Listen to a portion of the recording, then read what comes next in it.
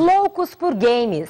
Jovens mostram do que são capazes na etapa paulista do WGC Brasil, campeonato que dá vaga para a final, que vai escolher os participantes do Mundial em outubro nos Estados Unidos. A moda desses jogos eletrônicos é tão grande que o mercado de games no mundo já ultrapassou em faturamento a indústria cinematográfica americana.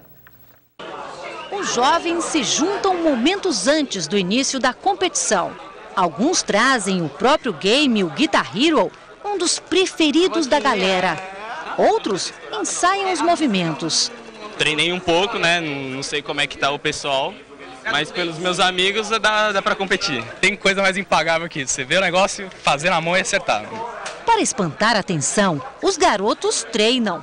Aqui a modalidade é o Street Fighter. Fabiano nem pisca e se dá mal quando é interrompido.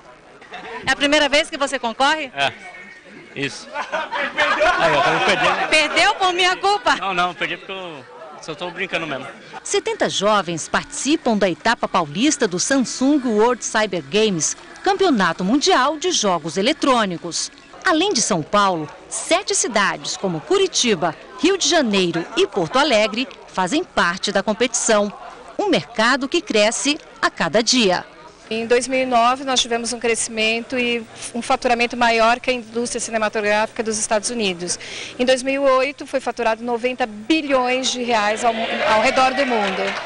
Matheus veio competir na modalidade Guitar Hero.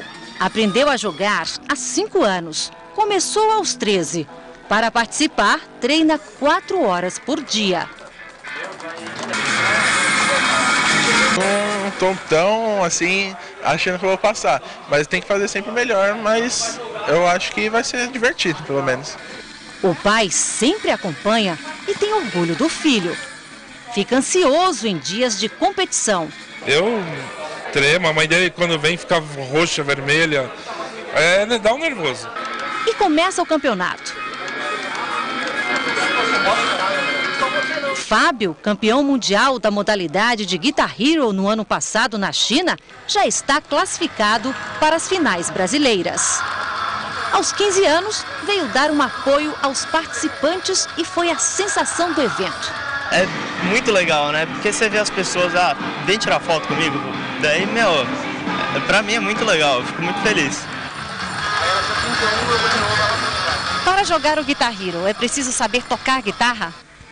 Na minha opinião, não, né? É, são cinco botões, uma palheta e na guitarra de verdade são seis cordas e doze casas. É totalmente diferente. Bem, se não é preciso saber tocar guitarra e eu que sou totalmente leiga no assunto, na teoria eu vou conseguir jogar o Guitar Hero. Vou tentar, vamos ver o que, é que vai dar. Vamos lá.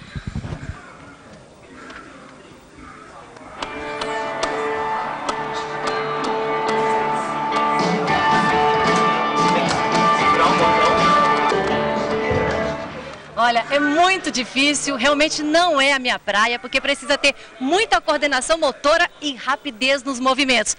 Mas, Fábio, você me ajudou aí, você colocou um jogo bem facinho, não? É, eu pus no nível easy, né? Eu tô no expert, que é o, que é o nível mais avançado. E daí muda bastante, né?